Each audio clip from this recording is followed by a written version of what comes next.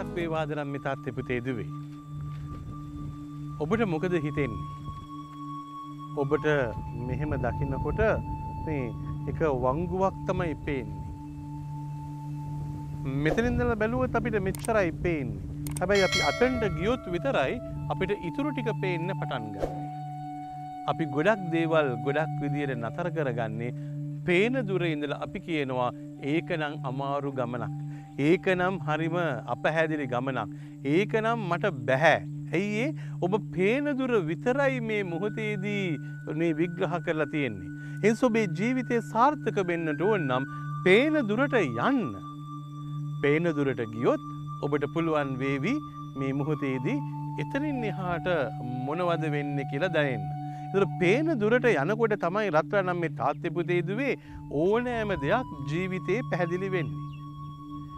ඒ නිසා මනුස්ස මට්ටම තුල සමහර වෙලාවට අපිට මේ පේන දුර කියන දේ එච්චර වටින්නේ නැහැ. පේන දුර කියන දේ ගොඩක් වැදගත්. ඉතින් මේ පේන දුරට කවදා හරි ඔබට යන්න පුළුවන්කමක් තියෙනවා නම් හිමින් සීරුවේ එදාට ඔබට තේරෙනවා මේ පේන දුරට ආවට පස්සේ එතරින් එහාට තියෙන ඒ පැතිකඩ හරිම වෙනස්. හරිම වෙනස්. නැත්තං කාරිය ඔබට මට කියන්න තියෙන්නේ මෙච්චර තමයි මට යන්න පුළුවන් කියලා නැහැ. ඔබ මෙතන්ට ආවට පස්සේ මේක හරියට තුම්මං හන්දියක්. එතකොට මේ තුම්මන් හන්දිය ගාවට ආපුවාම ඔබට පේනවා යම්කිසි ආකාරයෙන් මේ පැත්තට ආයෙත් ගොඩක් දුර යන්න පුළුවන්. ඔබට ඒ පැත්තට ගොඩක් දුර යන්න පුළුවන්. ඒ වගේම අනිත් පැත්තට බැලුවොත් ඔබට කැලෑව ඇතුළටත් ගොඩාත් දුර යන්න පුළුවන්. මේ කැලෑව ඇතුළටත් යන්න පුළුවන් ඔබට. ඒනිසා මේ කැලෑව ඇතුළ ඔබට මේ ඈතට යන්න පුළන් හිමින් හිමින් හිමින් ඔබට ඒ කැලෑව ඇතුළට යන්නට පුළුවන්. නමුත් මනුස්ස මට්ටම තුළ අපි එක තැනක විතරයි නතර වෙන්නේ.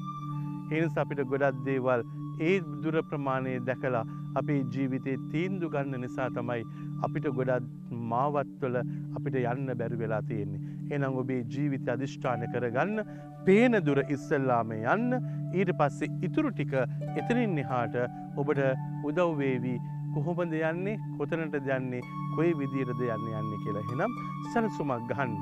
ඉන්න ඕනෑම තැනක ප්‍රබල වෙනවා ඒ දේ අයිති කරගන්න ඔබේ ජීවිතේ ඔබ සියලු දෙනාටම එහෙනම් චෙස්පීටයි.